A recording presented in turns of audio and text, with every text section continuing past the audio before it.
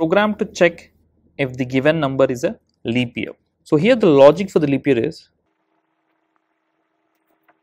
we need to check two things. The first one is the given year we're going to divide it with 4 and we're going to see whether it has a remainder or not. Apart from this it also need to satisfy that the year is not divisible by 100. If these two satisfy it's a leap year. Otherwise the second possibility is the year is exactly divisible by 400 then also it can be taken as a leap year. To implement this we will be using a if condition that is basically if the condition and else. The if condition is y modulus 4 has to be 0 as well as y modulus 100 must not be equals to 0. This is one condition or the second condition is y percentile 400 must be 0. If any of these two satisfy then we're going to print it as leap year. Otherwise print it as not a leap year. Okay let's do this on machine.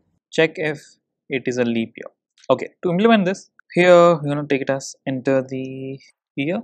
Then we are storing in that in the number. Then here the logic is uh, the first one is number modulus 4 has to be 0 that is divisible by 4 and the number should not be divisible by 100 this is the possibility 1 let me wrap this in uh, brackets.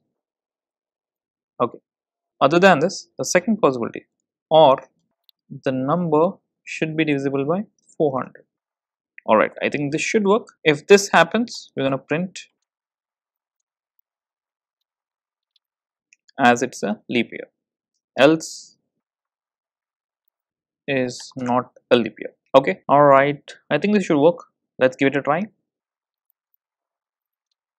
Okay. There's no compilation errors. Now let's execute this year 2012 it's a leap year. Then 2013 not a leap year. Perfectly working